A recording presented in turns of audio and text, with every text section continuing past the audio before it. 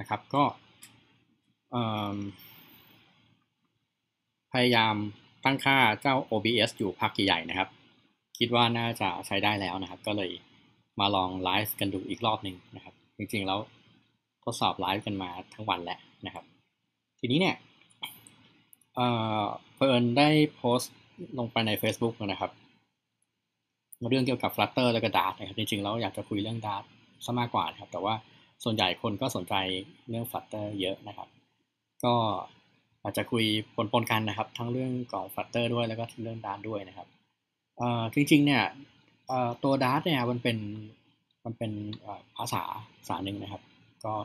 ทางทีม Google เองเขาก็พัฒนาขึ้นมานะครับ ซึ่งภาษาตัวนี้มันน่าสนใจมากเลยนะครับ เพราะว่าตัวภาษาเองเนี่ยมันประหลาดนะประหลาดยังไงนะครับ ก็ถ้า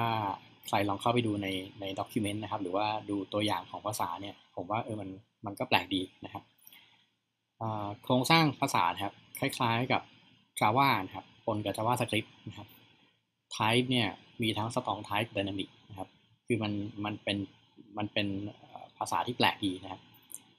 strong type คือเรากำหนดลักษณะของตัวแปรนะครับ อย่างเช่นตัวแปรนี้เป็น string เป็น int เป็น double อะไรพวกนี้นะครับ แต่ว่าเราก็สามารถที่จะกำหนดตัวแปรเป็นอะไรสักอย่างหนึ่งนะครับอะไรสักอย่างหนึ่งคือเป็นลักษณะของไดนามิกนะครับก็บอกว่าเออนั่นแหละมันเป็นอะไรสักอย่างหนึ่งนะครับ เดี๋ยวเดี๋ยวมันก็ทำงานได้อีกแหละนะครับ ซึ่งมันก็ออกจากสับสนนิดนึงนะครับ แต่ว่าถ้าใครเคยเขียนพวกภาษาที่เป็นลักษณะของซองไทป์มาก่อนเนี่ยชีวิตก็จะงงๆบ้างนะครับ แต่ว่าสักพักหนึ่งเราก็จะวนกลับไปที่การเขียนแบบ strong type เหมือนเดิมนะครับภาษา Dart นะครับเป็นภาษาที่น่าสนใจภาษาหนึ่งนะครับ ทีนี้ ความสนุกของมันก็คือว่า มันไม่ได้หยุดที่ที่ความเป็นของภาษา Dart นะครับ Dart เองเนี่ยถูกเอาไปใช้ในแพลตฟอร์มแพลตฟอร์มหนึ่งนะครับที่ชื่อว่า Flutter นะครับ Flutter เนี่ย Flutter เนี่ยถือว่าเป็นแพลตฟอร์มในเรื่องของการออกแบบตัว mobile application นะครับ ที่ดีนะครับ ที่ดีบอกว่าดียังไงนะก็คือว่าวิธีการทำ UI layout ต่างๆ เนี่ยมันมันใช้ source code เป็นหลักนะครับสำหรับคนที่เขียนโค้ดนะอาจจะชอบนะครับ เพราะว่าเอออยากจะได้สี่เหลี่ยมนะครับ ก็บอกว่าคำสั่งสี่เหลี่ยมอะไรเงี้ยอยากได้วงกลมข้อสั่งวงกลมอะไรเงี้ยครับ มันก็จะดูแบบดิบเถื่อนนิดนึงนะครับ แต่ว่าคนที่ชอบในเรื่องของตัว การใช้พวกเครื่องมืออ่า อย่างเช่น UI Designer นะครับไม่ว่าจะเป็น Sketch หรือว่าจะเป็น Adobe XD นะครับก็ก็อาจจะฟีลลิ่งหนึ่งนะครับแต่ว่าเราก็สามารถที่จะมาหยิบเอางานดีไซน์จาก Sketch หรือ Adobe XD มาใช้งานได้นะครับผมให้ดูตัวเว็บ Flutter คร่าวๆนะครับเขาก็จะมีโฆษณาวนไปวนมาครับที่อยู่บนหน้าจอนะครับทำงานได้เร็วทำแอปได้เร็วขึ้นอะไรเงี้ยออกแบบสวยอะไรเงี้ยนะครับ มันก็เป็นคำโฆษณานะครับ เออสวยไม่สวยอะไรพวกนี้ก็ขึ้นอยู่กับคนดีไซน์นะครับถ้าคนดีไซน์สวยออกมาแอปมันก็ดูสวยนะครับอะนะครับ ทีนี้เจ้าตัวฟัตเตอร์เนี่ยนะครับ มันมันไม่ได้มีแค่ออกแบบ สามารถที่จะทำ UI ได้สวยนะครับ หรือว่าทำงานได้เร็วนะครับ create app ได้เร็วทำ prototype ได้เร็วนะครับมันมีเรื่องราวที่น่าสนใจ behind the scene นะครับของ Flutter อีกนะเพราะว่าตัว Flutter เองเนี่ยนะครับเขา ใช้วิธีการ render โดยการวาดหน้าจอลงไปนะครับในแต่ละครั้งที่โปรแกรมมันทำงานเนี่ยมันก็จะวาดหน้าจอไปทุกครั้งไปนะครับ ซึ่งมันมันไม่เหมือนการ render JavaScript เนาะ JavaScript มันต้องมีเบราว์เซอร์ใช่ไหมครับ มันต้องมีมี JavaScript engine นะ แล้วก็เอาไปอ่านสคริปต์มาแล้วก็ render นะครับเหมือนเราเปิดเว็บในเบราว์เซอร์เนี่ยแต่ว่าไอ้เจ้าตัวเนี้ย มันมีมันมีอ่า Flutter Engine นะครับอยู่หลังบ้านนะครับ แล้วมันก็จะมีตัวเครื่องมือตัวหนึ่งชื่อว่า Skia นะคอย render นะครับคอย render พวก widget ต่างๆเนี่ยนะครับ ไม่ว่าจะเป็นปุ่ม app bar อะไรพวกนี้นะครับ ก็เวลาเราตั้งค่า widget อะไรต่างๆเนี่ยเราก็สามารถที่จะตั้งค่าได้ละเอียดมากขึ้นอยากจะให้ปุ่มสูงปุ่มนูนนะครับมี ตัวเงาสีอะไรอะไรพวกนี้เราก็ตั้งได้นะครับ ก็เป็นภาษาที่ที่แปลกนะครับสำหรับคนชอบโค้ดนะผมว่าวิธีเนี้ยเราขึ้นโปรไทป์ได้เร็วมากนะครับเเรียกได้ว่าถ้าเกิดว่าเรามีดราฟ UI คร่าวๆนะครับ หรือว่ามีตัว virtual design มาแล้วนะครับ ที่ที่ที่ไม่ใช่ wireframe นะ virtual design ที่ไม่ใช่ wireframe เอ่อคือคือเห็นหน้าจอแอปเห็นอะไรพวกนี้แล้วเนี่ยก็มันก็จะทำงานได้เร็วขึ้นนะครับ เวลาคนโค้ดก็จะ จะจะมองเห็นภาพว่าอ๋อโอเคเขาต้องเขาต้องโค้ดหน้าจอออกมายังไงนะเขาต้องสร้างตัวหน้าจอของในแต่ละหน้าของ mobile app ออกมาอย่างไงนะอันนี้ก็ก็เรื่องที่สนุกดีนะครับไอพวกแอนิเมชันนะครับแอนิเมชันนี่สนุกมากใน Flutter นะครับ คือมันมี widget ครับที่เป็นมาตรฐานอยู่นะครับ สามารถที่จะสร้างตัวแอนิเมชันได้นะครับ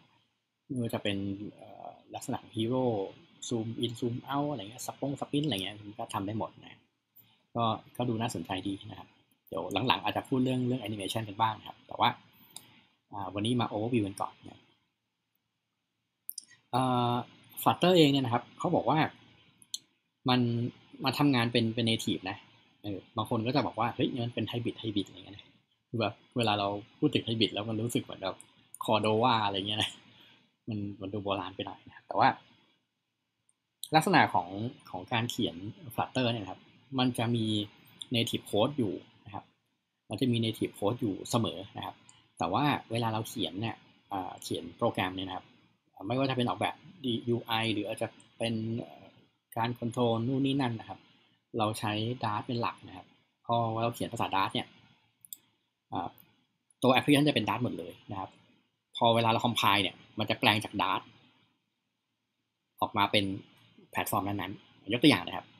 ยกอย่างเช่น ถ้าสมมุติว่าเราจะใช้ Flutter สร้าง Android app นะครับ มันก็จะแปลงจาก Dart นะครับ แปลงจาก Dart มาเป็น Kotlin นะครับ แล้วเขา compile Kotlin มาเป็น APK นะ ถ้าเป็น iOS ก็แปลงจาก Dart มาเป็น Swift นะครับ แล้วก็ compile Swift มาเป็น IPA นะครับ แล้วก็เอาไปขึ้น store อะไรก็ว่ากันไปนะครับ สำหรับแพลตฟอร์มอื่นนะครับ อย่างเช่น macOS เนี่ยนะครับเขาก็จะ build เป็นตัวไฟล์แอปเนาะไฟล์ app เนาะ .app นะครับพวกเนี้ยเราก็สั่งปุ๊บแล้วก็รันบนบน Mac OS ได้เลยนะครับสำหรับแพลตฟอร์มอย่างเช่น แพลตฟอร์มที่เป็นพวก Fuchsia นะครับ พวกอยู่ในกล่องอัจฉริยะต่างๆนะพวกไอพวก Assistant Box อะไรพวกนี้นครับ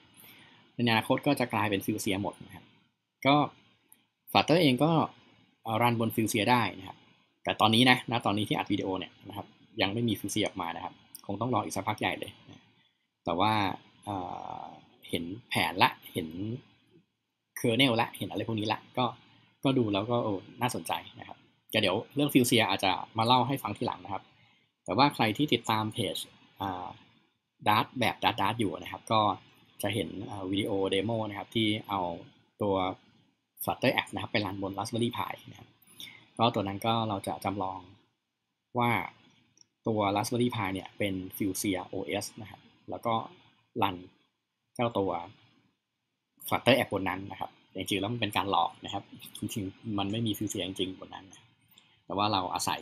ที่ว่าเรามี Flutter Engine อยู่บนนั้นนะครับบนทำงานอยู่บน ARM V7 นะครับ แล้วก็เอา Flutter ไปรันนะอะโมเยอะนะครับอะ สำหรับใครที่อยากรู้ว่า Flutter เขียนยังไงนะครับ Dart เขียนยังไงนะครับ ก็เข้าไปที่สองเว็บนี้นะครับ ก็คือเป็นเว็บ dart.dev นะครับ แล้วก็ flutter.dev นะครับอีกที่หนึ่งนะครับ ที่จะแนะนำก็คือ Dart Package ครับ Dart Package เนี่ยในเว็บนี้นะครับเว็บมันชื่อ pub.dev นะครับ แต่ว่าไตเติลมันชื่อ Dart Package ใน pub.dev เนี่ยนะครับเขาจะมีตัวแพ็กเกจนะครับแล้วก็ปลั๊กอินต่างๆนะครับที่จะสามารถจะเรียกใช้ได้นะครับไม่ว่าจะเป็นบน Dart เองนะครับ หรือว่าบน Flutter เองนะครับ ถ้า เราสนใจแพ็กเกจไหนนะครับ เราก็มา browse นนี้ได้นะผมยกตัวอย่าง อันหนึ่งซึ่งผมเผลอใช้ไปนะครับ มันชื่อว่า circular profile avatar นะครับ คือช่วงแรกๆของ Flutter เนี่ยมัน มันไม่มีอะไรแบบนี้นะครับ เราผมก็ไปใช้เจ้า circular profile avatar นะครับ พอมานั่งดู widget เวอร์ชันหลังๆนะครับ เวอร์ชัน1.12 อะไรพวกนี้นะครับ มันก็จะมี Circular Profile Avatar อยู่แล้วนะไม่รู้จะเอามาใช้ทำไมนะ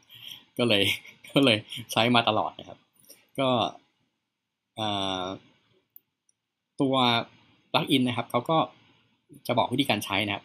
เช่น ลิดมีนะเช็คบอกมีอะไรบ้างนะครับ ตัวอย่างใช้ยังไงนะครับจะมีตัวอย่างให้นะครับ การติดตั้งครับ ติดตั้งตรงไหนนะครับ ก็จะอธิบายดีนะครับจะใส่ในไฟล์ผับสเปคยังไงใส่ตรงไหนนะครับจะติดตั้งยังไง หลังจากติดตั้งเสร็จแล้วเราต้องใช้คำสั่งอะไรนะครับก็ดูเข้าใจง่ายนะครับ ในแต่ละ plugin นะครับ หรือว่าในแต่ละแพ็กเกจเนี่ยเขาก็จะมีตัว compatibility บอกนะครับว่า ใช้บน Flutter นะ ใช้บน Android กับ iOS ได้นะนะครับมี plugin บางตัวมันชื่อว่า connectivity ไม่แน่ใจว่าต้องรับ Dart ด้วยไหมนะเดี๋ยวดูก่อน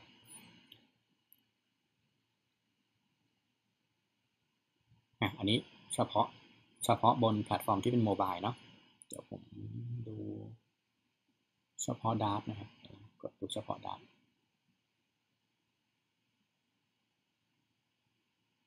อันนี้นี่นี่ดูดูมีสาระนะครับ HTTP นะครับ นี่แพ็กเกจสำหรับทำ HTTP request นะครับแพ็กเกจนี้นะครับก็ใช้งานบน Dart Native กับ JS ได้นะครับ JavaScript นั่นหมายความว่าอะไรหมายความว่ามันรันบนเว็บได้นะแพ็กเกจนี้นะ ถ้าใช้บน Flutter นะครับ ก็ใช้กับ Android iOS เว็บอะไรอย่างเงี้ยนะครับ บนฟิลเซียไม่รู้ได้เปล่าเดี๋ยวต้องไปลองกันเอาเองนะ อ่าก็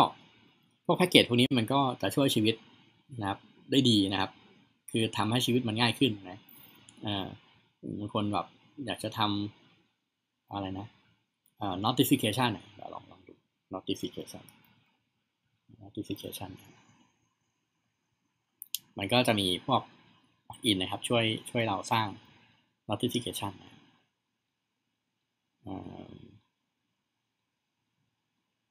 ใส่เสิร์ชใหญ่ไปหน่อยเติมเอ็กเข้ามาหน่อย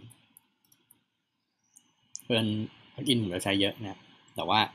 หลังๆก็เริ่มแบบพักอินพวกนี้เริ่มมีผลนะ เพราะว่ามันไม่ compatible นะครับ เดี๋ยวจะเล่าให้ฟังแล้วกันนะว่า ตัวความไม่ compatible มันเป็นยังไงนะครับ แล้วก็วิธีการดูแล้ววิธีการเลือกเนี่ย จะเลือกตัวปลั๊กอินได้ยังไงนะเอ๊ะทำไม อ๋อ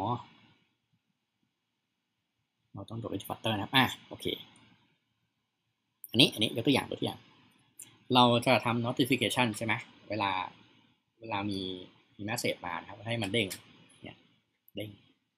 บางคนก็เรียกว่า push noti push notification แต่ว่าเผอิญเราเขียนบน Dart เนาะเราก็คงไม่ได้ไปเขียนสวง Swift อะไรอีกครั้งหนึ่งนะครับเราก็ครอบไปด้วยดาบนะครับทีนี้ไอ้เจ้าปลั๊กอินตัวนี้นะครับ มันก็ช่วยเรานะในเรื่องของการทำ push notification ได้นะครับ คือไม่ได้ไม่ได้ว่าช่วยในการที่ส่ง push นะ คือช่วยในการฝังรับนะครับในกรณีที่เราได้ message จากระบบอะไรก็ตามเนี่ยที่ส่งมาที่ mobile app นะครับเจ้าตัวนี้นะ ก็จะแสดงตัว notification ขึ้นมาแบบนี้นะครับก็ Android หน้าตาแบบนี้นะ iOS หน้าตาแบบนี้นะครับแล้วก็มีวิธีการใช้งานนะครับ อธิบายละเอียดพอสมควรนะครับ ก็ต้องนั่งอ่านนั่งอ่านดู คือ อย่างเงี้ยนะครับอย่างเช่นมี permission จะต้องขอนะ ต้องใส่อะไรบ้างนะครับโค้ดจะต้องใส่อะไรยังไงนะพวกนี้ก็จะมีหมดนะครับก็จะมีอธิบายนะครับอาศัยขยันอ่านนิดนึงนะครับ ก็มันก็ไม่ยากนะครับอะนะครับทีนี้ อันถัดมานะครับเปินความชอบส่วนตัวนะครับ เดี๋ยวเข้าให้ดูนะครับ ก็เป็น YouTube Channel นะครับเป็น YouTube Channel ของ Flutter คือ Flutter เนี่ยมี resource ดีมากนะครับ เฉพาะ YouTube Channel ของ Flutter เองเนี่ย ผมว่านั่งดูเยอะไม่เบื่อนะครับ นั่งดูได้เรื่อยๆนะครับ ยังไม่ลงช่องของอื่นนะครับ ของคนอื่นนี่คือคือเยอะมากเนี่ย หลายๆ คนก็จะถามว่าโอ้ไม่ค่อยมีคนเขียนฟัตเตอร์เลยนะครับ ลองไปดู YouTube ครับ โอ้เยอะมากนะครับเยอะ เยอะจนแบบไม่รู้ว่าอะไรอันเก่าอันใหม่นะครับ ก็ต้องค่อยๆ ทยอยดูนะครับอะ มาดูช anel ของ Flutter นะครับ ของ Flutter เองเนี่ยเขาจะมีมีวิดีโอที่น่าสนใจนะมีหลายๆเรื่องนะครับ ผมแนะนำให้ไปดูที่ playlist นะฮะใน playlist นะครับ มันจะมีพวกพวกรายการนะครับที่น่าสนใจนะอย่างเช่น Flutter Widget of the Week นะครับ Flutter Widget of the Week เนี่ยเขาก็จะเล่าเรื่องว่าวิดเจ็ตมีอะไรบ้างนะครับ Apps made with Flutter, the open source mobile SDK from Google, are composed of widgets. Each one is a lightweight object designed to do a specific lightweight object. อะเดี๋ยวขอไปก่อนนะครับ ก็ Widget of the Week ครับเขาก็จะเล่าเรื่องว่าเออ widget แต่ละตัวนะครับ ที่อยู่ใน Flutter นี่มีอะไรบ้างนะครับ แล้วสัปดาห์นี้เล่าเรื่องอะไรนะครับวิธีการใช้งานของแต่ละ widget ทำงานยังไงนะครับ แล้วเราจะเรียกใช้ได้ยังไงนะครับ อันนี้แนะนำให้ดูนะครับ คือบางอันเนี่ยเราก็ไม่ค่อยได้ใช้นะครับเราบางทีเราก็ไม่รู้เลยนะอย่างเช่น ไอ circular avatar เนี่ย ผมก็ไม่รู้นะไม่ใช้อะไรก็รู้มัวซวยหมดเลยนะครับแต่ก็แต่ก็เข้ามาดูนะเข้ามาดูมันก็อ๋อโอเค มันก็มีอะไรน่าสนใจเยอะนะครับนะลองเข้ามาดูได้เรื่อยๆเลยนะครับอ่าอีกตัวหนึ่งนะที่อยากให้ดูก็คืออ่า Balling Show นะครับ The Balling Flutter Development Show ครับอันนี้เนี่ย ผมว่าผมว่าดีนะ คือคือในมุมมองของ ของคนที่เขียนโค้ดนะครับ จะเข้าใจว่าให้เขียนโค้ดเนี่ยต่างคนก็ต้องเขียนต่างเขียนเนาะแต่ว่ารายการเนี่ยเขามานั่งแพรกัน คือรายการเนี่ยเขามานั่งแพรกันแล้ว แล้วสนุกมากเลยนะครับ เพราะว่าแต่ละคนเนี่ยเขาก็จะมีไอเดียนะครับอย่างเช่นเขาจะมีเขาจะมีตัวอย่างที่มาตัวอย่างหนึ่งนะครับ แล้วก็มานั่งถกกันว่าเอ๊ะ เนี่ยเขาใช้วิธีนี้อยู่นะ เขียนแบบเนี้ยน่าจะโอเคนะ แต่ว่าอีกคนนึงก็จะแย้งว่าเฮ้ยใช้วิธีนี้ดิใช้วิดเจ็ตตัวนี้ดิเร็วกว่าอะไรเงี้ยนะครับ หรือว่าสิ่งที่ทำอยู่ให้มันไม่น่าจะใช่นะอะไรเงี้ยเฮ้ยมันบั๊กหรือเปล่าอะไรเงี้ยนะครับคือคือก็ก็สนุกนะครับคือ The Bowling Show เป็นอะไรที่รายการยาวนะครับ แต่ละตอนเนี่ยก็ใช้เวลาประมาณแบบเป็นชั่วโมงนะครับ คือเป็นชั่วโมงจริงนะครับอย่างเช่นตอนเนี้ยนะครับ คือคือยาวมากนะครับ เป็นชั่วโมงนะครับเดี๋ยวบางตอนเนี้แบบเป็นชั่วโมงเลยเนี่ย ก็นั่งดูไปนะครับ นั่งดูไปดูมันไร้สาระนะครับ แต่ว่า คือคือเราจะเห็นวิธีการแก้ปัญหาของ developer แต่ละคนนะครับไม่ว่าจะเป็นทีม developer advocate ของของทาง Google เองนะครับ หรือว่าทีมของ Flutter เองนะครับ หรือว่าทีม Firebase เองอะไรพวกนี้นะครับ คือคือเขาจะ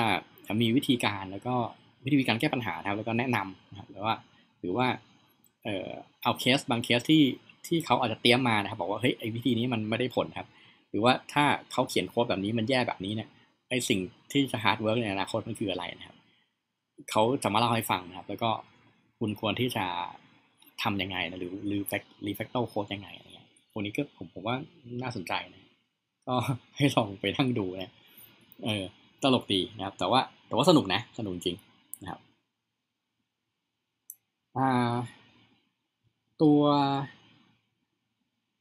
ถัดมานะครับ ผมว่า คนที่อยากจะเล่นฟัตเตอร์นะครับ ก็จะพยายามที่จะหาว่าเอ๊ะแล้วเราจะเริ่มได้ยังไงนะครับ กลับไปที่ Flutter ดเหมือนเดิมนะครับ เราจะเริ่มได้ยังไงนะอย่างที่บอกนะก็แนะนำเว็บไปอยู่ประมาณสองสามอันแล้วนะครับ แต่จริงๆแล้วเนี่ย คนที่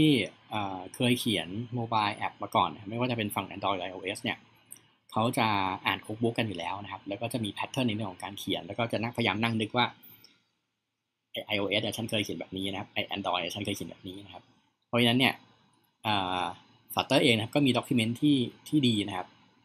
ที่ดีระดับหนึ่งนะครับจริง document จะทำแทบจะไม่ทันในแต่ละเวอร์ชันแต่ว่ามี document ที่ดีมากนะครับ ผมบอกงี้แล้วกันนะครับ ซึ่งมันมีสูตรสำเร็จในบางเรื่อง ซึ่งเราสามารถที่จะไป map ความรู้เก่าๆนะครับ แล้วก็อย่างเช่น Android เราเขียนแบบนี้นะเรามาดูใน Cookbook นะครับ Cookbook เนี่ยดูใน Cookbook นะครับเขาจะบอกว่าเฮ้ยบน Android คุณเขียนแบบนี้ใช่ไหมบน Flutter เนี่ยคุณเขียนแบบนี้นะ อะไรอย่างนี้นะครับยกตัวอย่างนะ Cookbook นะครับ อย่างเช่นแอนิเมชันนะครับ จริงๆแล้วไอ้พวกแอนิเมชันเนี่ยมาดูที่หลังนะคือหลักๆ เราก็จะดูในเรื่องของในเรื่องของการดีไซน์นะครับ งานดีไซน์ทำทำหน้าจอยังไงอะไรยังไงอะไรพวกนี้นะครับ แล้วก็การทำ navigation นะครับ มีหนึ่งหน้าจอจะไปหน้าจอที่สอง จากหน้าจอที่สองจะกลับมาหน้าจอหนึ่งทำยังไงอะไรพวกนี้กระโดดข้ามกันไปกันมาหน้าจอนะครับ ส่งตัวแปรผ่านหน้าจอที่หนึ่งไปหน้าจอที่สองนะครับ หรือว่ากดหน้าจอที่สองแล้วเอาหน้าจอเอาตัวแปลงของหน้าจอที่สองนะครับ กระโดดกลับมาที่หน้าจอที่หนึ่งอะไรเงี้ยนะครับ คือมันมันมันมีอะไรที่มันน่าสนใจนะครับ ซึ่งไอ้ด็อกิเมนต์แบบนี้นะครับ ถ้าลองไปดูในเว็บ Android Developer เนี่ยมีเหมือนกันเด้เลยนะครับ เพราะฉะนั้นเนี่ยใครเขียน Android มาก่อนนะครับ แล้วมันทั้งดู document ของ Flutter นี่ก็จะขำๆนิดนึงว่าเออเฮ้ยมันก็ก็เขาเรียกอะไร copy best practice กันมานะครับอ่า Cookbook เป็นอะไรที่ดีมากนะครับ คือ Cookbook Cookbook จริงๆนะคือนั่งดูแล้วเราเข้าใจว่าอ๋อโอเคเอ่อถ้าเราจะต่ออย่างเช่นเรื่องนี้นะครับ ต่อ networking นะครับ จะต่อยังไงนะครับ เราจะเอา Data จากอินเทอร์เน็ตมายังไงนะครับ pass JSON ยังไงนะครับเล่นกับ WebSocket ยังไงนะครับ ในเรื่องของการเก็บข้อมูลนะครับอย่างเช่น SQLite เนี่ยเราจะใช้งานยังไง อ่านเขียนไฟล์ยังไงนะครับทำ key value store นะ key value store นี่ก็อาจจะเป็นพวก child reference นะครับก็ก็จะใช้ยังไงนะครับ ก็ผมว่ามันมันมันเป็นเรื่องที่ที่น่าสนใจนะครับ แล้วก็คุกปุ๊กถือว่าดีดีมาก ดีมากเลยแหละนะครับอะถ้าจาก Cookbook นะครับจะมี tutorial นะครับ จริงๆ ผมก็ไม่ค่อยได้ดู tutorial เท่าไหร่ tutorial เนี่ยจะมีหลาย ๆ เรื่องนะ ซึ่งน่าสนใจนะครับ เขาจะพยายามไล่ในจุดที่ง่ายๆ แล้วก็เป็นจุดที่สำคัญมาก่อนอย่างเช่น เมื่อกี้นี้ผมเล่าให้ฟังอย่างเช่นทำ layer มาก่อนนะครับ หน้าจอจะออกแบบหน้าจอยังไงอะไรยังไงนะครับ แล้วก็ค่อยมาแอดพวกแอนิเมชันนู่นนี่นั่นกันทีหลังนะครับ ในเรื่องของการทำ local นะหรือ internationalize Flutter app นะครับก็คือทำให้มันแอปมันมีหลายภาษาเนี่ยทำยังไงนะครับ ก็จะไล่ๆกันมานะครับ แต่ว่าจริงๆนะไอ้เรื่องพวกเนี้ยมันมันไม่ได้มันไม่ใช่เรื่องยากนะ มันง่ายมากเลยนะครับสำหรับคนที่เขียนเขียน Flutter เนี่ยผมว่า คือก็อย่างที่เขาโฆษณานะว่ามันขึ้นโปรโตไทป์ได้เร็วจริงนะครับ แต่ว่าคนเขียนเนี่ยก็ต้องก็ต้องอชอบในการเขียนโค้ดนิดนึงนะ ก็ขนาด UI ยังต้องเขียนโค้ดนะแต่แต่ถ้ามีมี UI designer ก็ก็ดีนะให้ UI designer เขาดีไซน์ให้เรานะแล้วก็ export ไฟล์มาให้เราอีกทีนึงชีวิตก็จะง่ายขึ้นนะครับถ้าไม่มี UI designer นี่แย่เลยนะครับ คือ UI designer นี่ต้องต้อง export ออกมาเป็น source code นะครับ ถ้า export มาเป็นไฟล์ PDF หรือเป็นสไลด์ PowerPoint นี่คือไม่ได้ช่วยอะไรเลยอะนะ ก็เล่าขำๆกันครับ จริงๆแล้วก็มา overview ให้ดูก่อนครับ เดี๋ยวตอนถัดต่อไปก็อาจจะมามาลงลึกในรายละเอียดนะครับว่าแต่ละตัวเป็นยังไงนะครับ จะเขียนยังไงอะไรยังไงนะจะเริ่มต้นยังไงนะครับผมผมเขียนโพสไว้ใน ไว้ในเฟซบุ๊กส่วนตัวนะครับ แล้วก็ไว้ในเพจดัตดัตนะครับเพจดัตแบบดัตดัตเนี่ยนะครับ ก็จะมีหลายเรื่องเลยนะครับ ก็จะมีทั้งเรื่องที่เป็นตัว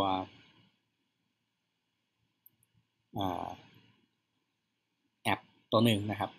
สีชมพูชมพูนะครับมีในเรื่องของการ integrate กับตัว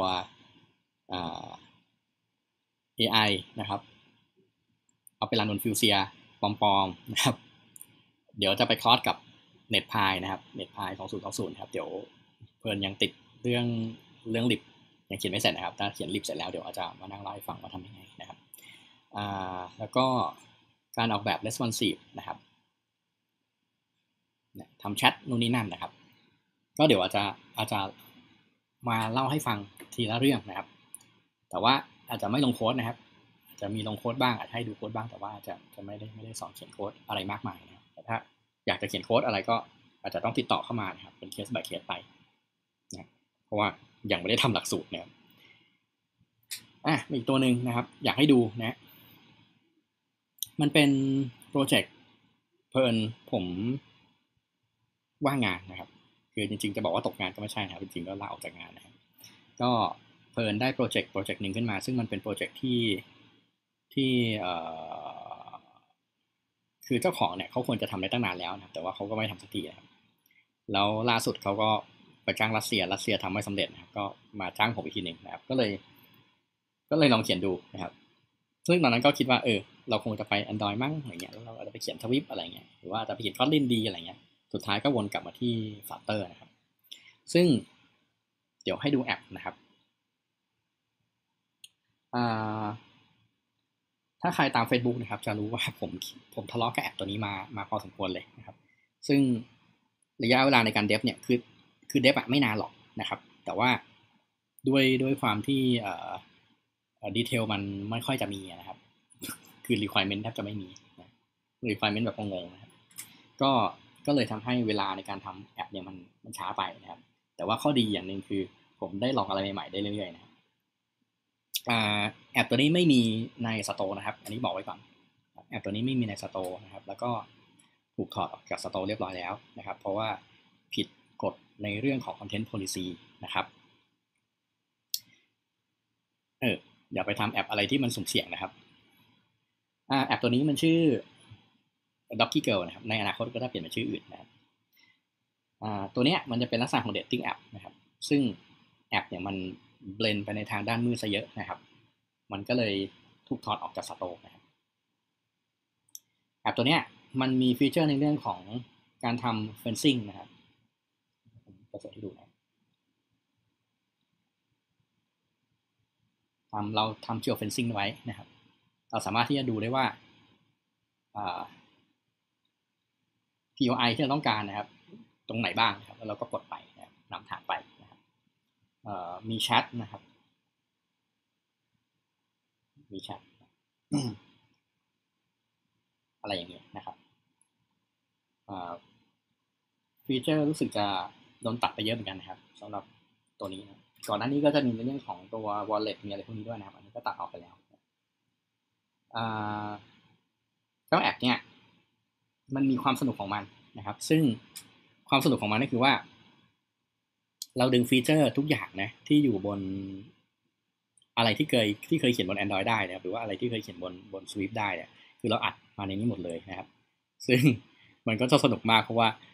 ไอ้ทุกอย่างเนี่ยไม่เคยทำใน Flutter เลยนะครับ แล้วก็มานั่งเขียน Flutter กันตรงนั้นเลยนะครับ ซึ่งซึ่งเป็นอะไรที่ที่สนุกดีนะครับใช้เวลาเขียนนานนิดนึงนะครับ ช่วงแรกนะก็หลังก็จะเริ่มชินแล้วเวลาเวลาเราทำพวก UI เอ่อพวก Flutter UI อะไรพวกนี้นะทำ build UI เนี่ยมันก็จะจะเริ่มชินแล้วนะครับ แต่ว่าหลังๆก็เออมันก็เริ่มแบบเริ่มอยากจะ refactoring นะ อืม มันโค้ดมันห่วยอะไรเงี้ยแล้วก็พยายามทำโค้ดให้มันดีขึ้นนะเขียนให้มันดีขึ้นนะครับ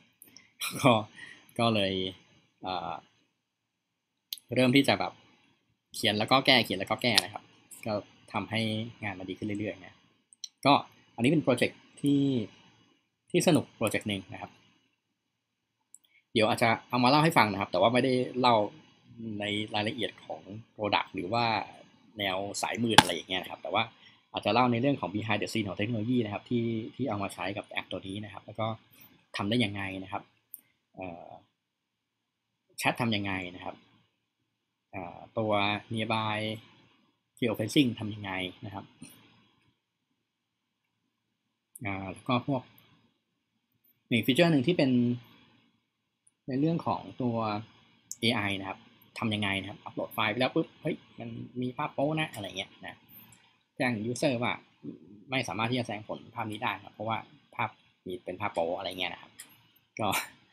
ก็ก็ทำได้นะทำได้ตรงนี้เดี๋ยวจะมาเล่าให้ฟังในใน episode ต่อๆไปนะครับ แต่ว่าพวกเนี้ยก็ก็ถือว่าเป็นประสบการณ์นะมาแชร์ประสบการณ์กันนะครับสำหรับเรื่องอื่นๆนะครับ ก็คิดว่าในอนาคตน่าจะได้ลองมาเล่าเพิ่มเติมนะ เพราะว่ามันก็จะมีโปรเจกต์สนุกๆ หลาย ๆ เรื่อง หลาย ๆ ตัวนะมาให้ลองทำเรื่อยๆนะอย่างเช่น ถ้าใครติดตาม Facebook ผมก็จะมีในเรื่องของตัวแบบทดสอบเรื่องความจำเสื่อมนะครับ อันนี้ก็สนุกเหมือนกันครับ เป็นโปรเจกต์คือให้เวลาเจ็ดวันครับ ก็ผมก็นั่งเขียน ก็เร่งให้เร่งงานให้นะก็เสร็จสี่วันนะก็โปรเจกต์นี้น่าสนุกมากจริง ๆ แล้ว มันน่าสนใจที่ว่าเฮ้ยเขาทำไมเขาทำแบบฟอร์มแบบนี้นะครับ แล้ว UI ทำไมเขาดีไซน์น่ารักจังอะไรเงี้ยหรือว่าแบบ UI แบบ simple มากเพราะอะไรอะไรเงี้ยคือด้วยความอยากรู้ก็เลยรับโปรเจกต์นี้มานั่งทำนะเอ่อ questionnaire แต่ละอันเนี่ยครับมันเป็นมันเป็นเขาเรียกว่าเป็นมินิเกมนะเป็นมินิเกมมีอยู่ประมาณสิบห้าข้อมันถ้าจำไม่ผิด มันเป็นมินิเกมทุกอันเลยนะครับ มันเหมือนเราเขียนเกมแบบ มันเหมือนเราเขียนเกมหลายๆเกมอยู่ในแอปเดียวกัน เออแล้วก็ประมวลผลออกมาว่าเออคุณได้สกอร์เท่าไหร่อะไรเงี้ยนะครับแล้วก็ผู้ทำการทดสอบนะครับ หรือคุณหมออะไรเงี้ยก็ก็จะวิเคราะห์ข้อมูลออกมาว่าเออเนี่ยคุณมีภาวะความจำเสื่อมหรือเปล่านะครับ อันนี้ก็สนุกดีนะครับ เดี๋ยวเดี๋ยววันหลังอาจจะมาเล่าให้ฟังนะว่าเป็นยังไงนะครับแล้วก็เรื่องอื่นๆนะครับ Flutter บน Fuchsia Flutter กับ IoT นู่นนี่นั่นนะครับ หรือว่า Dart ในฝั่ง backend นะครับ ก็เดี๋ยวจะทยอยมาเล่าให้ฟังนะแต่ว่าครั้งนี้ก็ มาไลฟ์รอบแรกนะครับ ติดติดขัดขัดนะครับ เสียงไม่ดีหรืออะไรไม่ดีก็ก็ก็แจ้งได้นะครับ แต่ปรับ gain ไมค์มากขึ้นกว่านี้ไม่ได้แล้วนะพยายามแล้วนะครับ อาจจะต้องหาไมค์อะไรข้างนอกมาเพิ่มเติมนะแต่ว่าก็พยายามลองทำดูนะครับ เดี๋ยว น่าจะสักประมาณอาทิตย์หน้านะครับ น่าจะมี schedule แล้วก็ topic อะไรต่างๆออกมานะครับ แล้วก็อาจจะมาไลฟ์จริงๆจังๆ นะอีกครั้งหนึ่งนะครับ ครั้งนี้ก็มาโอเวอร์วิวให้ก่อนนะครับ แล้วก็ครั้งต่อไปจะมีเรื่องอะไรนะครับ หรือว่าอยากจะฟังเรื่องอะไร หรือว่าอยากจะให้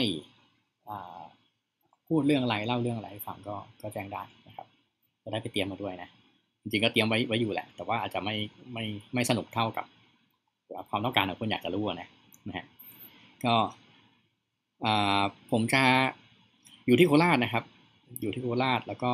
เดินทางบ้างนะครับจะมีไปอัดรายการวิทยุบ้างนะครับสำหรับใครที่อยากจะจ้างงานนะครับ ขายตัวนิดนึงนะครับ จ้างงานทำโมบายแอปนะครับ หรือว่าทำทางด้านพวกตัว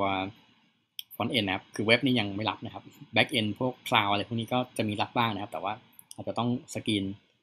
ในเรื่องของรายละเอียดนิดนึงนะครับ เพราะว่าเดี๋ยวมาแต่ละทีนี่คือแบบมา over นะครับ แต่ว่า budget ไม่มีอะไรเงี้ย คือเจอบ่อยนะ ก็ เดี๋ยวจะต้องมาในขึ้นนั่งคุยรายละเอียดกันนะครับสำหรับ training หรือเวิร์กช็อปนะครับเร็วๆนี้นะครับ อาจจะได้จัดนะครับ แต่ว่าจะเป็นจัดลักษณะของของ on-site นะครับ ถ้าเกิดใครสนใจก็ก็ติดต่อเข้ามาได้นะครับสำหรับหลักสูตรนะครับ